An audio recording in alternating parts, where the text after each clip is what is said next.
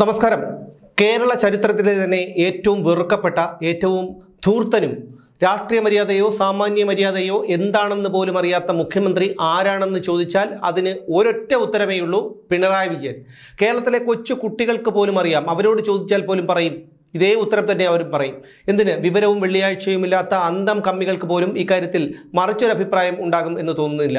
പിണറായി വിജയന്റെ ഏഴെട്ട് കൊല്ലത്തെ ഭരണം കേരളത്തെ സാമ്പത്തികമായി കൂപ്പുകുത്തിച്ചിരിക്കുകയാണ്. കിട്ടാവുന്നിടത്തു നിന്നെല്ലാം കടം വാങ്ങി കള്ളക്കടം വാങ്ങി ചെലവഴിച്ചു ധൂർത്തടിച്ചു വിദേശയാത്രകളും വിദേശ ചികിത്സകളും ക്ലിഫ് ഹൗസ് നവീകരണവും ആഡംബര വാഹനവും ഹെലി വാടക ഹെലികോപ്റ്ററും ഒക്കെയായി പിണറായി വിജയനും കുടുംബവും കൂടെ നിന്നവരും ജീവിതം ആഘോഷിക്കുമ്പോൾ കേരളത്തിലെ സാധാരണക്കാരായ പൊതുജനങ്ങൾ നട്ടം തിരിയുകയാണ് വിലക്കയറ്റത്തിലും അമിതമായ നികുതി ഭാരത്തിലും.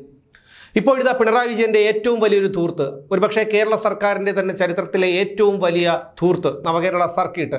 ഈ നവകേരള സർക്കിട്ടിൽ ക്ഷണക്കത്തുകളും പോസ്റ്ററുകളും അച്ചടിക്കാനായി പൊതുഖജനാവിൽ നിന്ന് ചെലവഴിച്ചത് ഒൻപത് കോടി പതിനെട്ട് ലക്ഷം രൂപയാണ്. സർക്കാർ സ്ഥാപനമായ സി ആപ്റ്റാണ് ഈ പോസ്റ്ററുകളും ക്ഷണക്കത്തുകളുമൊക്കെ അച്ചടിച്ചത്. ഇതിന്റെ ആദ്യ ഗഡുവായി ഒരു കോടി അറുപത്തി എട്ട് ലക്ഷം രൂപ കഴിഞ്ഞ മെയ് മാസത്തിൽ തന്നെ സി ആപ്റ്റിന് നൽകിയിരുന്നു.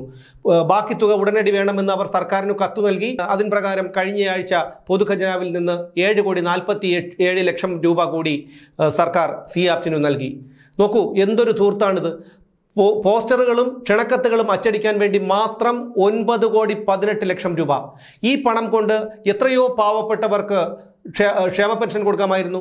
ഈ ആയി മാസാമാസം കിട്ടിക്കൊണ്ടിരുന്ന ആയിരത്തി അറുന്നൂറ് രൂപ ക്ഷേമ പെൻഷന് വേണ്ടി കണ്ണും നട്ടിരിക്കുന്ന അതായത് ഈ ആയിരത്തി അറുന്നൂറ് രൂപ കിട്ടി കിട്ടിയിരുന്നെങ്കിൽ നല്ല രീതിയിൽ ആഹാരം കഴിക്കാമായിരുന്നു അല്ലെങ്കിൽ ആശുപത്രിയിൽ പോകാമായിരുന്നു എന്ന് ചിന്തിക്കുന്നവരുമുണ്ട് നമ്മുടെ കൂട്ടത്തിൽ.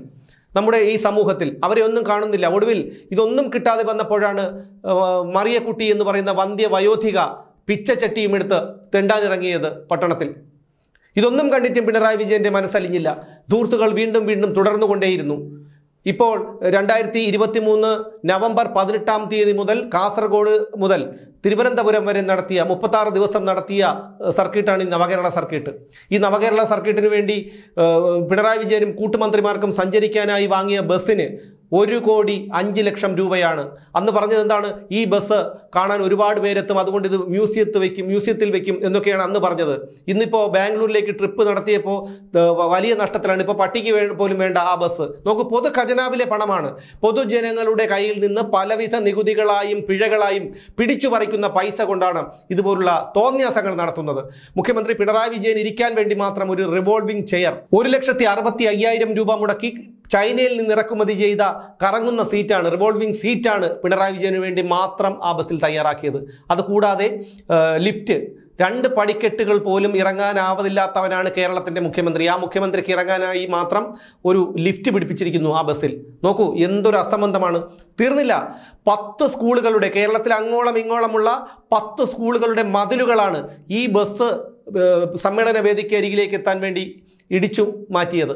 എത്ര ലക്ഷം രൂപ എത്ര കോടി രൂപയാണ് ഇതുമൂലം സർക്കാർ പൊതുഖജനാവിനോ അല്ലെങ്കിൽ പി ടി ഐക്കോ ഉണ്ടായ നഷ്ടം?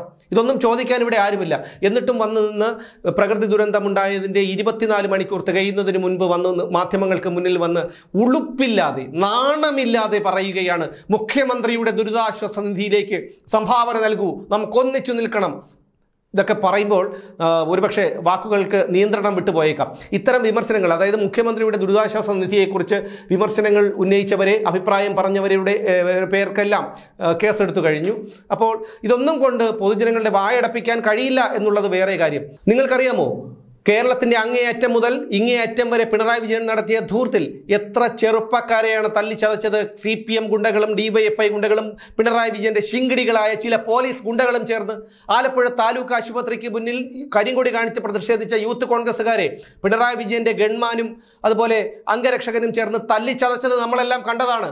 ഒരു സ്ത്രീ അതായത് യൂത്ത് കോൺഗ്രസിന്റെ ഭാരവാഹിയായ മേഘ എന്ന പറയുന്ന ഒരു സ്ത്രീയെ പോലും യാ സ്ത്രീയാണെന്നുള്ള ഒരു പരിഗണന പോലും നൽകാതെ തല്ലി ചതച്ചു കളഞ്ഞു പോലീസുകാർ. അവരിപ്പോഴും പരിക്കേറ്റ് വീട്ടിൽ തന്നെയാണെന്നാണ് നമുക്കറിയാൻ കഴിഞ്ഞിട്ടുള്ളത്. ലോകത്തെ ഏറ്റവും വലിയ ജനാധിപത്യ രാജ്യമാണ് ഇന്ത്യ. ആ ഇന്ത്യയിൽ ഒരു പൗരന് പ്രതിഷേധിക്കാനുള്ള ഏറ്റവും ലഘുവായ മാർഗമാണ് കരിങ്കൊടി കാണിക്കുക എന്നുള്ളത്. ഒരു കരിങ്കൊടി കാണിക്കുമ്പോൾ പോലും വിരളി പിടിക്കുന്ന പിണറായി വിജയൻ അന്ന് എത്ര പേരെയാണ് തല്ലിച്ചതച്ചതിന് സാക്ഷിയായത്? ഹെൽമറ്റ് കൊണ്ടും ചെടിച്ചട്ടി കൊണ്ടും ഡിവൈഎഫ്ഐ ഗുണ്ടകൾ യൂത്ത് കോൺഗ്രസ്സുകാരെ തല്ലിച്ചതച്ചപ്പോൾ അതൊക്കെ ആസ്വദിച്ചുകൊണ്ട് ചിരിച്ചുകൊണ്ട് ഈ ബസ്സിന് മുന്നിൽ ഇരുന്നു പിണറായി വിജയൻ. എന്നിട്ട് അതിനെ ന്യായീകരിച്ചു. രക്ഷാപ്രവർത്തനമാണ് നടന്നിരുന്നത് എന്ന്. നമുക്ക് അറിയാം പിണറായി വിജയന്റെ പ്രായം വെച്ച് നോക്കുമ്പോൾ അദ്ദേഹത്തിന് ചെറുമക്കളാകാൻ പോലും പ്രായമില്ലാത്ത യൂത്ത് കോൺഗ്രസ്സുകാരെയാണ് ഇത്തരത്തിൽ ചതച്ചപ്പോൾ അതിനെ രക്ഷാപ്രവർത്തനമെന്ന് പറഞ്ഞ് നിസ്സാരവൽക്കരിച്ചുകൊണ്ട് പിണറായി വിജയൻ ചിരിച്ചുകൊണ്ടിരുന്നത്. ഇനി ഒരു കാര്യം കൂടി ശ്രദ്ധിക്കണം. എന്തിനായിരുന്നു നവകേരള സർക്കിട്ട്? ഓരോ മണ്ഡലങ്ങളിലും ചെന്ന് ജനങ്ങളെ കണ്ട് സാധാരണക്കാരായ ജനങ്ങളെ കണ്ട് അവരുടെ പരാതികളും പ്രശ്നങ്ങളും ഒക്കെ കേട്ട് ഹർജികൾ വാങ്ങി അതിന് പരിഹാരം കാണുക എന്നുള്ളതായിരുന്നു നവകേരള സദസ്സിലൂടെ സർക്കാർ ലക്ഷ്യമിട്ടത് എന്നാണ് പറയുന്നത്. പക്ഷേ എത്ര പേർക്ക് എത്ര പേരുടെ പ്രശ്നങ്ങൾക്കാണ് പരിഹാരം കണ്ടത്. ലക്ഷക്കണക്കിന് പരാതികളാണ് മുഖ്യമന്ത്രിയുടെ ഈ ഒരു നവകേരള സർക്കിട്ടിൽ കിട്ടിയത്. എന്നിട്ട് എത്ര പരാതികൾക്കാണ് പരിഹാരം കണ്ടത്? ഒന്നിനും കണ്ടിട്ടില്ല. നിരവധി പേർ മാധ്യമങ്ങളുടെ മുന്നിലും മറ്റും വന്നു പറഞ്ഞിരുന്നു മുഖ്യമന്ത്രിയുടെ ഈ നവകേരള സദസ്സിൽ കൊടുത്ത പരാതിയിൽ യാതൊരു തീരുമാനവുമായിട്ടില്ലെന്ന്. പിന്നെ എന്തിനാണ് ഇത്തരത്തിലുള്ള ധൂർത്തുകൾ പിന്നെയും പിന്നെയും നടത്തിക്കൊണ്ടിരിക്കുന്നത്? നിങ്ങൾക്കറിയാമോ? ക്ലിഫ് ഹൗസിന് വേണ്ടി മാത്രം. ക്ലിഫ് ഹൗസ് പിണറായി വിജയന്റെ തറവാട്ട് സ്വത്തൊന്നുമല്ല. ക്ലിഫ് ഹൗസ് കേരളത്തിലെ മുഖ്യമന്ത്രിയുടെ ഔദ്യോഗിക വസതിയാണ്. ആ ഔദ്യോഗിക വസതിയിൽ എന്തൊക്കെ നിർമ്മാണ പ്രവർത്തനങ്ങളാണ് നടത്തുന്നത്? ഇതെല്ലാം ഈ ഊരാളുങ്കൽ എന്ന് പറയുന്ന പിണറായി വിജയന്റെ വേണ്ടപ്പെട്ടവരെ അല്ലെങ്കിൽ പിണറായി വിജയന് വേണ്ടപ്പെട്ട ഈ ഊരാളുങ്കൽ ലേബർ കോൺട്രാക്ടിംഗ് കമ്പനിക്കാണ് കൊട്ടേഷൻ പോലും ഇല്ലാതെ കൊടുത്തിരിക്കുന്നത്. നോക്കൂ ചാണകക്കുഴിക്ക് വേണ്ടി ലക്ഷങ്ങൾ രണ്ട് നിലകളുള്ള ക്ലിപ്പ് ഹൗസിൽ കയറാൻ വേണ്ടി മാത്രം മുഖ്യമന്ത്രിക്കും ഭാര്യയ്ക്കും പടിക്കെട്ടുകൾ കയറാൻ കഴിയില്ലത്രേ. അതുകൊണ്ട് ഇരുപത്തി അഞ്ച് ലക്ഷത്തി അൻപതിനായിരം രൂപ മുടക്കി ലിഫ്റ്റുകൾ. നീന്തൽക്കുളം നവീകരിക്കാൻ തന്നെ എത്ര കോടി എത്ര ലക്ഷം രൂപ മൂന്നോ നാലോ ഘട്ടങ്ങളായി ചിലവാക്കി പശുത്തൊഴുത്തിനു വേണ്ടി. അതുപോലെ ഒരു വാടക ഹെലികോപ്റ്റർ. നിങ്ങൾക്കറിയാമോ? ഒന്നാം പിണറായി സർക്കാരിന്റെ കാലത്ത് ഇരുപത്തിരണ്ട് കോടിയിലേറെ രൂപയാണ് ഈ വാടക ഹെലികോപ്റ്ററിന് വേണ്ടി ഈ പൊതുഖജനാവിൽ നിന്ന് തൂർത്തടിച്ചത് ഈ രണ്ടാം പിണറായി സർക്കാരിന്റെ കാലത്തും കാര്യങ്ങൾ വ്യത്യസ്തമൊന്നുമല്ല. എൺപത് ലക്ഷം രൂപയാണ് ഒരു വാടക ഹെലികോപ്റ്ററിനായി നമ്മുടെ പൊതു ഖജനാവിൽ നിന്ന് മാസം മാസം എടുത്തു കൊടുത്തുകൊണ്ടിരിക്കുന്നത്. ഈ ആയിരത്തി അറുന്നൂറ് രൂപ ക്ഷേമ പെൻഷന് വേണ്ടി എത്രയോ പാവങ്ങൾ കണ്ണു നട്ടിരിക്കുമ്പോഴാണ് പിണറായി വിജയൻ ഇതുപോലുള്ള ധൂർത്തുകൾ കാണിക്കുന്നത്. ഇപ്പോഴിതാ നോക്കൂ ഒരു ഒരു പരിപാടിയുടെ സർക്കാരിന്റെ ഏറ്റവും വലിയ തോന്നിവാസമായ നവകേരള സർക്കിട്ട് എന്ന ഒരു തോന്നിവാസത്തിന് ഒരു ധൂർത്തിനു വേണ്ടി മാത്രം അതിന്റെ പോസ്റ്ററുകളും ക്ഷണക്കത്തുകളും അച്ചടിക്കാൻ വേണ്ടി മാത്രം പൊതു ഖജനാവിൽ നിന്ന് ഒൻപത് കോടി പതിനെട്ട് ലക്ഷം രൂപ മുടക്കി എന്നറിയുമ്പോഴാണ് ഈ സർക്കാർ ഒരു കൊള്ളസംഘമാണോ അതോ ഒരു ഭരണകൂടമാണോ എന്നുള്ള സംശയം നമുക്ക് തോന്നുന്നത്. കേരളത്തിലെ ജനങ്ങൾ ഇതെല്ലാം മനസ്സിലാക്കണം. കാരണം ഒരു വിഷയമുണ്ടാകുമ്പോൾ അത് പുറത്തു വരുമ്പോൾ അത് മാധ്യമങ്ങൾ പുറത്തു കൊണ്ടുവരുമ്പോൾ ഒന്നോ രണ്ടോ ദിവസങ്ങൾ മാത്രം ചർച്ചയാകുന്ന ഒരു ആ, വി- സ്ഥിതിവിശേഷമാണ് ഇന്ന് കേരളത്തിലുള്ളത്. അത് കഴിയുമ്പോൾ അടുത്തൊരു വിഷയം വരും. ആൾക്കാരെല്ലാം അതിന് പിന്നാലെ പോകും മാധ്യമങ്ങളെല്ലാം അതിന് പിന്നാലെ പോകും. അപ്പോൾ ഇതൊന്നും മറക്കരുത്. ഇനിയും തെരഞ്ഞെടുപ്പുകൾ വരും. ഇതെല്ലാം നമ്മുടെ ഓർമ്മയിൽ ഉണ്ടാകണം. ക്ഷേമ പെൻഷൻ കിട്ടാതെ ഏഴോ എട്ടോ മാസത്തെ ക്ഷേമ പെൻഷൻ മുടങ്ങിയിട്ട് മൂന്ന് നേരം തികച്ച ആഹാരം കഴിക്കാൻ പാങ്ങില്ലാത്ത പാവപ്പെട്ടവർ ഇവിടെ വിശന്ന് വലഞ്ഞിരിക്കുമ്പോഴാണ് ഈ പിണറായി വിജയൻ ഇതുപോലുള്ള ധൂർത്തുകൾ കാണിക്കുന്നത് എന്ന് ഓർക്കണം. നിങ്ങൾക്കറിയാമോ? കിട്ടാവുന്നിടത്തു നിന്നെല്ലാം കള്ളക്കടം വാങ്ങി ഇനി വാങ്ങാൻ ആരുമില്ല. കേന്ദ്രം കൊടുക്കാനുള്ളതിനും അതിനപ്പുറവും കൊടുത്തു കഴിഞ്ഞു. ഇനിയിപ്പോൾ കഴിഞ്ഞയാഴ്ച മൂവായിരം കോടി രൂപയുടെ കടപ്പത്രം ഇറക്കി ആ മൂവായിരം കോടി രൂപ സമാഹരിച്ചിരിക്കുകയാണ്. ഈ മാസത്തെ ശമ്പളവും സർക്കാർ ഉദ്യോഗസ്ഥർക്കുള്ള ശമ്പളവും പെൻഷനും കൊടുക്കാനും മറ്റു ചിലവുകൾക്കുമായി മൂവായിരം കോടി രൂപ സമാഹരിച്ചിരിക്കുകയാണ്. അപ്പോൾ അടുത്ത മാസം എന്തു ചെയ്യും? ഈ മാസം കടപ്പത്രം ഇറക്കി. അടുത്ത മാസം എന്തു ചെയ്യും? അപ്പോൾ ഈ മുഖ്യമന്ത്രിയുടെ ദുരിതാശ്വാസ നിധിയിൽ ഇപ്പോൾ വരുന്ന പണമെടുത്ത് ഇതിനു വേണ്ടി ചിലവഴിച്ചാലും ആർക്കും ഒന്നും ചോദിക്കാൻ പറ്റില്ല. കാരണം കോടതികളെല്ലാം മുഖ്യമന്ത്രിക്ക് ഒരു വിഷയമല്ല. സുപ്രീം കോടതി പോലും ലാവ്ലിൻ കേസ് എത്ര തവണയാണ് നീട്ടിവെച്ചത്?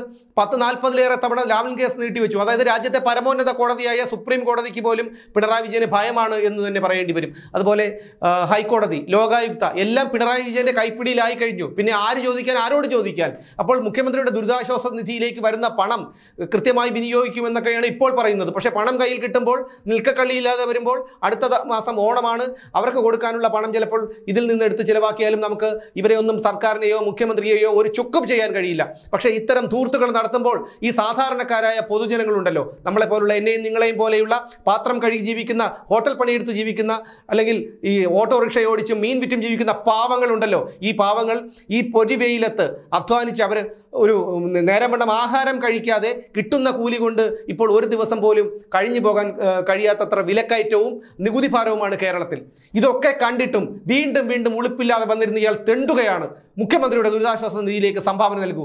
അപ്പോഴാണ് ഈ ഒൻപത് കോടി പതിനെട്ട് ലക്ഷം രൂപ പോസ്റ്ററിനും ക്ഷണക്കത്തിനും വേണ്ടി മാത്രമായി ചിലവഴിച്ചത്. കേരളത്തിലെ ജനങ്ങൾ ഇതൊന്നും മറക്കരുത്. നിങ്ങൾ ഇതൊന്നും മറക്കരുത്. നിങ്ങളെ ഓർമ്മപ്പെടുത്താൻ വേണ്ടി മാത്രമാണ് ഞാൻ ഇക്കാര്യം ഒരിക്കൽ കൂടി പറഞ്ഞത്.